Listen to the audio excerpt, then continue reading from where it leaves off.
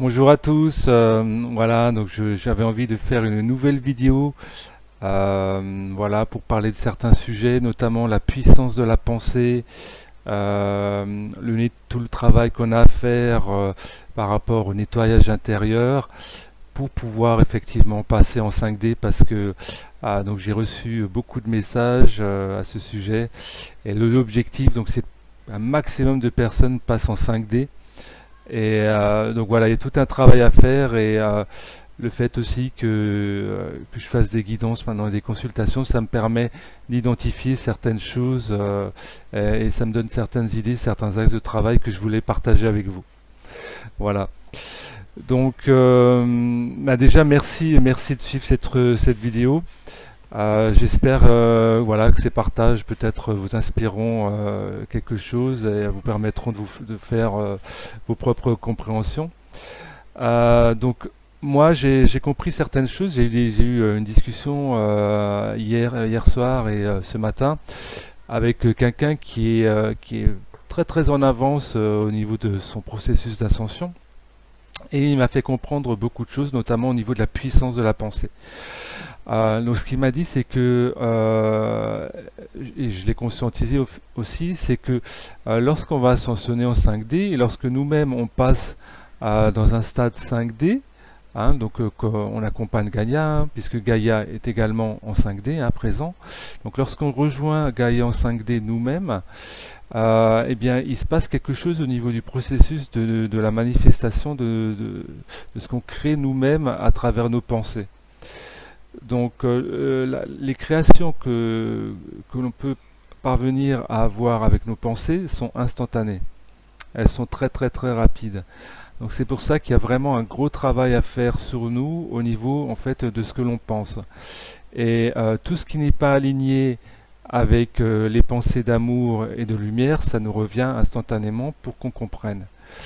Alors bien entendu, tout ça c'est tout à fait normal c'est fait pour qu'on comprenne, qu'on prenne conscience des choses et qu'on change euh, justement ce qui ne va pas, ce qui doit être corrigé, amélioré et guéri.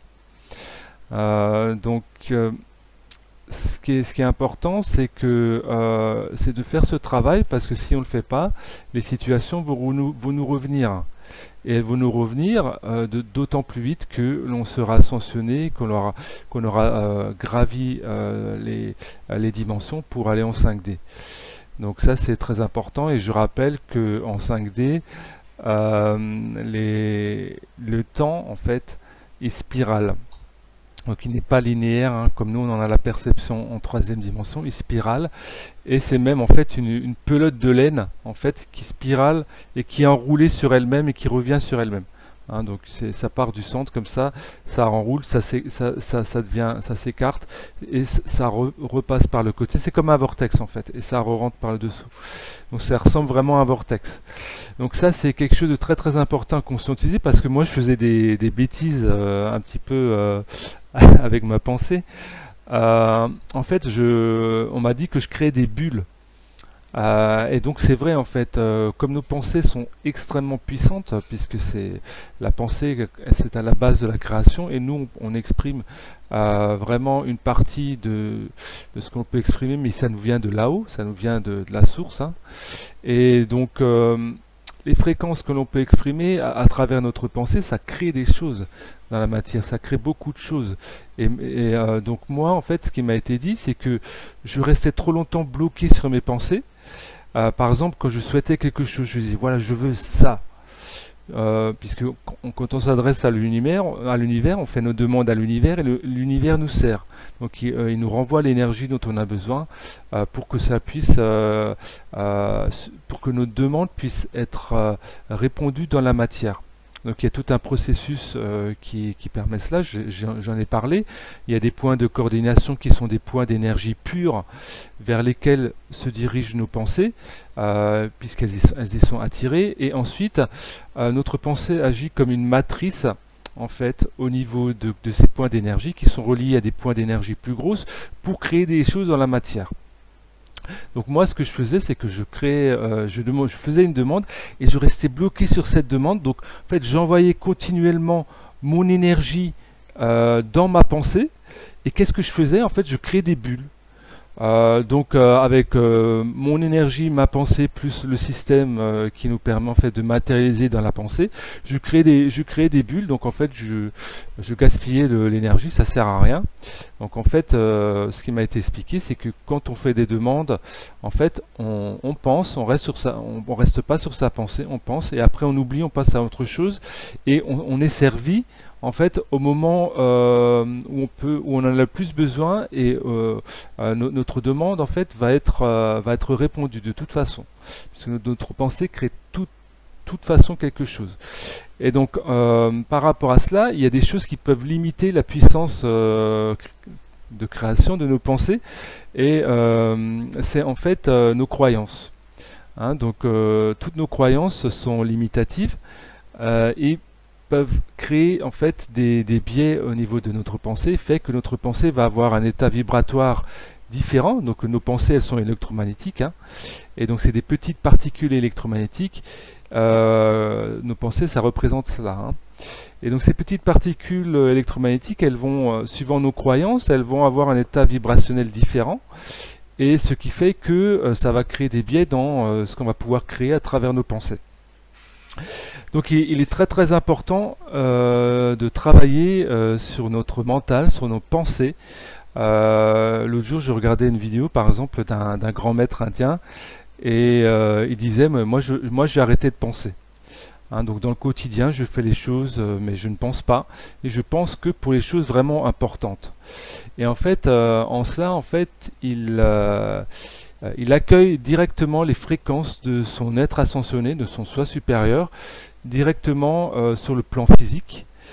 Et, le, filtre mental est tout à fait calme et apaisé.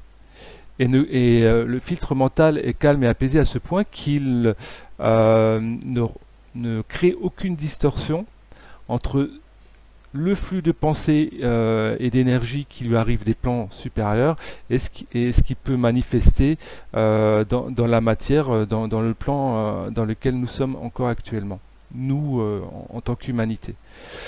Donc il y, a tout un travail à faire en fait sur, euh, sur l'ego, sur le mental, c'est ce qui m'a été dit aussi, hein, euh, dans le but de, de passer un maximum en, cinquième dimension, qu'un maximum de personnes puissent le faire.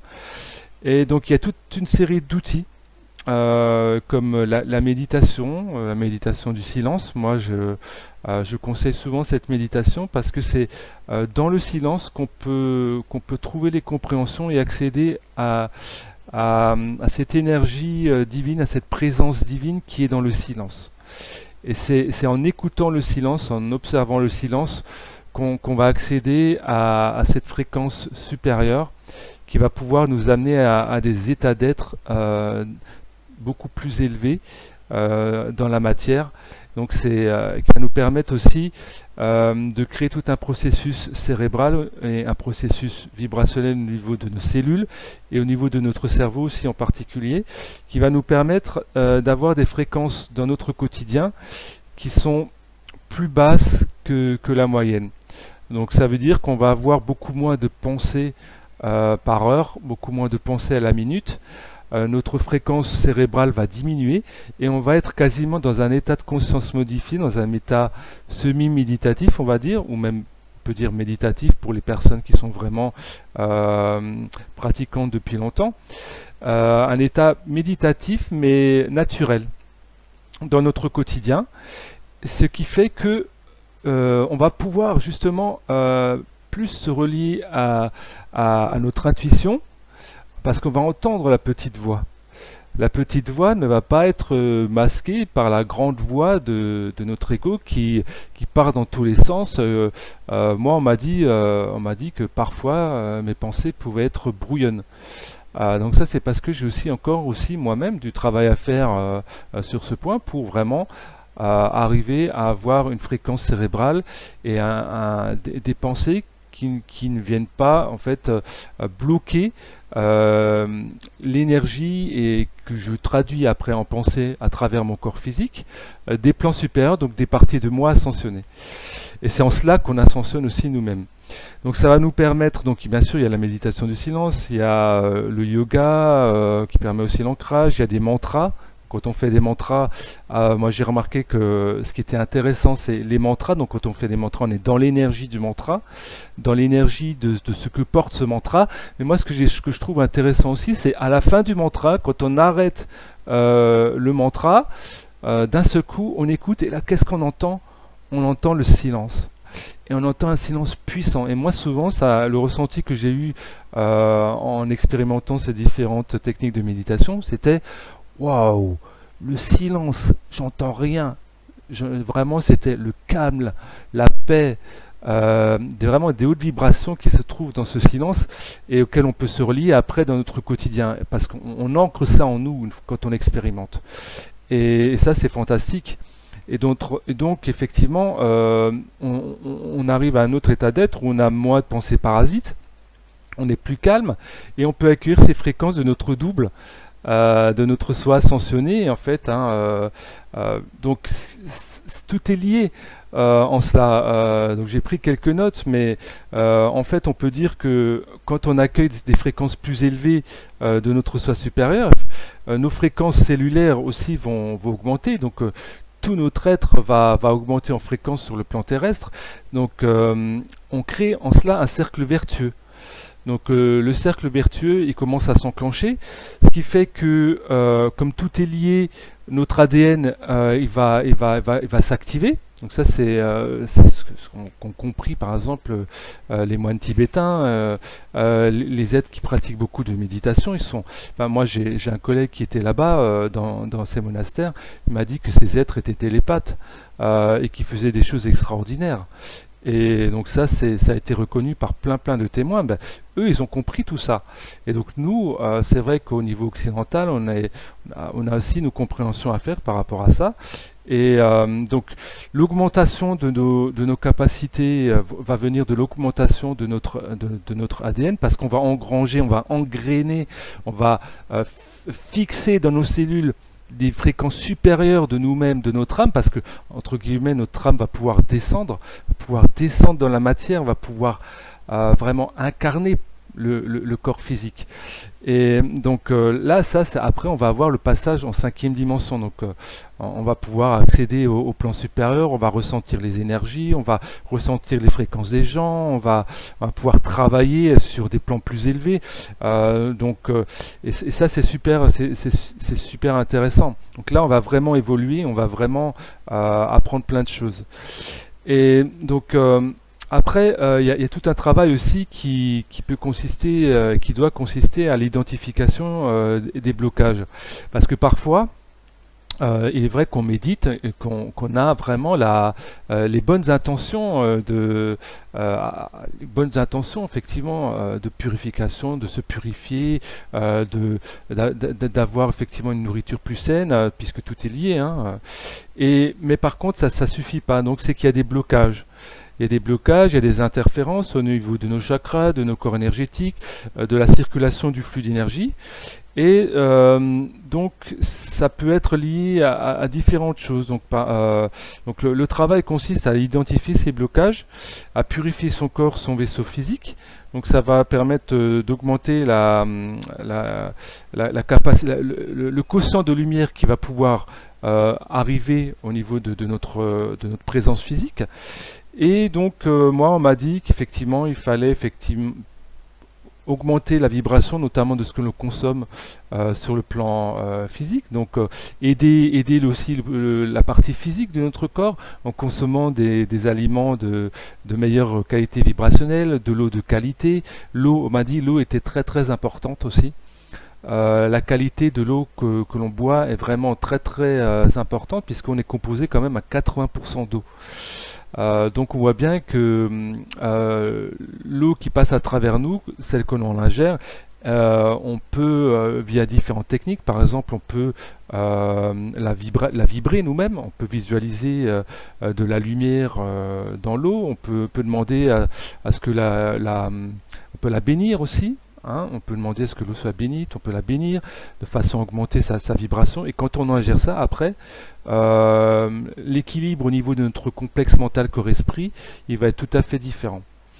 Donc ça, c'est vraiment quelque chose de, très important. On peut aussi pratiquer le jeûne par période. à son rythme, bien sûr. donc, moi, aujourd'hui, par exemple, j'ai décidé de pratiquer un jour de jeûne. On me l'a conseillé, donc je vais le faire. et c'est important parce que quand on reçoit ces nouvelles fréquences de nous-mêmes, les nouvelles fréquences de notre âme, qu'on arrive à les faire descendre dans la matière, euh, c'est important des fois de prendre des jours où on ne consomme pas d'énergie euh, de, matière extérieure. Donc ça va permettre vraiment aux fréquences de notre âme d'imprégner nos cellules. Et nos cellules, progressivement, elles vont devenir de plus en plus lumineuses et après, on va briller. On va briller l'intérieur et ce qui est à l'intérieur, après, va rejaillir à l'extérieur, dans notre aura. Hein. Donc notre aura aussi va devenir plus brillant parce que quand le, flux d'énergie circule parfaitement et que nos vortex énergétiques, nos chakras sont parfaitement équilibrés, euh, forcément ça va rejaillir sur la beauté, euh, la brillance, euh, l'éclatante beauté de notre aura. Et donc avec cela, avec notre aura, on va pouvoir euh, effectivement passer des informations avec les, personnes que, l'on entoure, parce que l'aura échange toujours de l'information. On va, hum, on va pouvoir faire plein de choses. On va s'attirer à soi des personnes d'une vibration différente. On va s'attirer des expériences différentes à travers la qualité de nos pensées. Donc, euh, il y a toutes les lois cosmologiques jouent après. Les lois de l'univers, la loi de l'attraction, la loi de cause à effet, tout est vraiment euh, euh, parfait et sert à nous apprendre à devenir maître de notre capacité co-créationnelle. Donc on m'a parlé de ce jeune et on m'a parlé de, tout cela, donc on voit bien que tout est lié à tout niveau. Euh, j'avais également aussi un, autre message à faire passer. Euh, j'ai constaté ces derniers temps qu'il y avait beaucoup, qu'il y avait pas mal de personnes qui étaient dans une sorte d'état de, mal-être ou, euh, dans un état, va dire, qui n'acceptait pas l'incarnation, donc qui voulaient quitter le plan terrestre. Alors que ce sont des personnes qui ont des âmes très très évoluées, qui sont, qui peuvent apporter beaucoup de lumière sur Terre. donc ce, que je ressens et ce que j'ai envie de, passer comme message à ces personnes, c'est que c'est nous, c'est nous qui avons choisi de venir sur Terre. C'est nous euh, qui, avons choisi cette expérience terrestre. Et, tant qu'on est sur l'expérience, euh, tant, qu'on est dans l'expérience terrestre, euh, on n'a pas le droit, enfin de mon point de vue, hein, on n'a pas le droit de baisser les bras. Tant, qu'on est incarné, on peut, on peut pas, s'apesantir sur oui le, monde va mal, euh, je me sens pas à l'aise dans ce monde, etc. Non, si on est venu dans ce monde, c'est pour changer les choses. Et le changement, il commence par nous. Donc si on voit le monde, si on voit que, ce qui va pas dans le monde, c'est aussi que nous, on focalise sur ça. Hein? Donc euh, bien sûr, il faut, prendre conscience de ce qui ne va pas. Mais il faut aussi prendre conscience de ce que l'on crée nous et de notre propre état d'être. Et c'est en prenant conscience de notre propre état d'être et, en ayant la volonté, le désir de travailler sur cet état d'être qu'on va créer après les choses que l'on veut voir dans la société. Euh, donc ça, c'est très important. Et donc euh, moi, je, dis aux personnes, effectivement, qui ne se sentent pas bien dans l'incarnation, euh, vous avez du travail à faire, vous, n'avez pas accepté l'incarnation, vous n'avez pas accepté le fait que c'est vous qui avez choisi de venir sur Terre pour changer ce qui ne va pas. Parce que ce, que vous voyez à l'extérieur, ça ne correspond pas à, ce qu'on est vraiment au plus profond de nous. Euh, parce qu'on est des êtres de lumière, on est des êtres d'amour, on est des êtres qui de paix, d'harmonie, de joie. Tout ça, c'est les fréquences divines dont on est porteur. Et euh, tout ça, j'ai envie, tout ça, on peut s'y relier. Et lorsqu'on s'y relie, on voit les choses tout à fait différemment. Et on peut même penser que, en fait, euh, on est en train de, quand on est dans ces états d'être vraiment élevés, qu'on est en train, qu'on est là pour créer le paradis sur Terre. Parce que le paradis, il est en nous. Et lorsqu'on arrive à trouver le paradis en nous, on peut essayer d'apporter des choses à l'extérieur pour euh, concourir au, fait que cela se crée à l'extérieur. Avec bien sûr euh, la, conscience collective et le fait que nous sommes liés euh, à travers notre fréquence collective. Donc chaque fois qu'on élève notre fréquence collective, on aide la, vibration de la conscience humaine à s'élever aussi. Et ça facilite après les autres aussi à prendre le même chemin et à, progresser eux-mêmes sur, sur, leur chemin de l'ascension en cinquième dimension. Donc plus on libère la circulation d'énergie en fait dans notre corps via nos pensées, en faisant le tri euh, au niveau de, nos croyances qui, peuvent être limitantes. Hein. Chaque fois qu'on a des croyances, en fait, on peut on crée des blocages tellement notre pensée est puissante. Donc ça, c'est quelque chose de très important à conscientiser. Euh, si, on se dit, euh, si, on, a des pensées de basse fréquence, on se dit ah ben j'ai pas, je sais pas, j'ai pas les moyens de, faire de, faire ceci, de faire ça, ben on n'aura pas les moyens. Mais si on se dit ben non, je je vais avoir, j'ai les moyens, l'univers, il me sert, j'ai les moyens, l'énergie euh, va se matérialiser sur Terre pour que je puisse me réaliser. Et quand on enlève tous les blocages, l'énergie, elle, coule et après, ça, va se, transmuter, ça va créer quelque chose dans la matière et vous aurez après les moyens de vous réaliser vous-même. Et, euh, mais tout ça, d'abord, ça passe par le fait d'enlever ces blocages, d'enlever ces fausses croyances, euh, limitantes et qui, nous limitent dans, nos développements. Donc tout ça, c'est aussi encore lié au travail de, la purification de la pensée. Et euh, donc il y a toujours un, travail à faire pour remédier à cela, pour guérir cela. Hein. suite, suite à notre niveau d'énergie qui va augmenter, on va pouvoir se relier donc à ces parties de nous qui sont sur des plans plus élevés euh, et auxquels nous n'avions pas accès auparavant. Et à partir de, à partir de ce moment-là, plus, on va aller sur ce chemin, les choses elles vont changer pour nous. Hein, puisque toutes les lois cosmologiques vont se, vont se mettre en route et elles vont, elles vont, nous servir, elles vont servir notre évolution. Et tout ça, ça sert à notre propre compréhension et notre propre cheminement. Euh, donc ça, c'est vraiment un message que je voulais faire passer. Et, tout ça, on ne peut pas y avoir accès si, notre mental nous bloque. Donc le, mental, on doit vraiment le, purifier pour qu'il devienne un réceptacle, un outil. Hein, euh, notre, au niveau de notre personnalité, on doit vraiment l'adoucir. Euh, il y, a même un processus qui s'appelle la mort de l'ego. Donc quand on dit la mort de l'ego, c'est la mort de la personnalité, mais c'est pas une mort, c'est une renaissance c'est une renaissance parce que ça nous permet euh, de nous relier à qui nous sommes vraiment sur les plans supérieurs et de pouvoir nous relier à cela dans notre état d'être, dans notre quotidien. Et de rayonner cela à l'extérieur de notre intérieur. Hein, euh, par exemple, euh, lorsque les flux d'énergie sont harmonisés, on, commence à avoir le feu du cœur. Le feu du cœur, c'est quoi? C'est les flux d'énergie cosmique et tellurique qui arrivent plus le, flux central qui fait qu'on a le rayonnement au niveau du chakra du cœur, on a l'énergie, l'amour qui sort du cœur, on a le feu du cœur qui commence à arriver. Donc il y a différents stades d'ouverture, il y a différents stades d'éveil, il y a différents stades de feu du cœur, mais en tout cas, quand on harmonise tout ça, qu'il n'y a plus de blocage, euh, ce feu du cœur, il peut commencer à s'expanser et à créer ce que nous sommes à l'intérieur. Vous voyez? Mais à créer à l'extérieur. Euh, mais à partir de l'intérieur. Et donc ça, c'est euh, vraiment une chose fantastique. Et si ce, ce, travail est entrepris, en fait, euh, le changement que, que l'on opère en nous, il va se refléter à l'extérieur après. Parce que l'extérieur n'est que le reflet de ce que nous sommes à l'intérieur. Si on a des pensées qui sont de basse fréquence, si, si, on se relie à, même façon inconsciente, euh, si on envoie du mal ou, euh, par exemple au, gouvernement, etc., le système qui nous plaît pas, euh, ben on va, on va renforcer tout ça, hein, puisqu'on va, on va nourrir ça de notre intérieur. parce qu'on est des créateurs très très puissants. Alors que si on envoie de l'amour, si on se relie aux parties de nous-mêmes, de, de, ce qu'on est vraiment, des êtres divins, incarnés dans la matière, alors là, on va rayonner l'amour à l'extérieur et les choses vont changer à l'extérieur.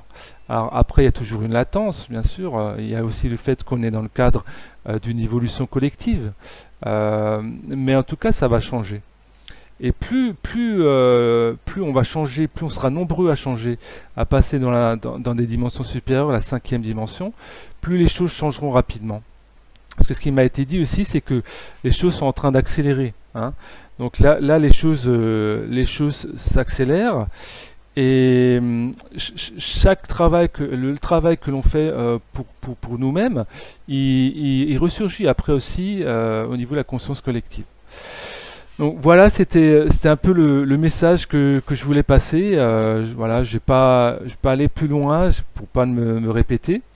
Euh, donc j'espère, euh, j'espère que ça, ça, vous parlera et euh, que ça pourra vous aider aussi au niveau de, votre cheminement. Euh, donc ce qui, est, ce, qui est, important aussi, c'est vraiment de libérer, libérer la puissance que, nous sommes. Donc c'est libérer les flux énergétiques qui nous permettent aussi d'accéder à, à, ces fréquences plus élevées et de les incarner et de les ancrer dans la matière. Voilà, des ancrer dans la matière et en faisant cela, on, participe à l'élévation euh, terrestre et donc on se rapproche aussi euh, collectivement de, du grand saut de conscience euh, de l'ascension qui, qui, se rapproche. Voilà, je, je, vous dis à très très bientôt et je vous embrasse très fort et je vous souhaite plein plein d'amour et plein de lumière. Au revoir.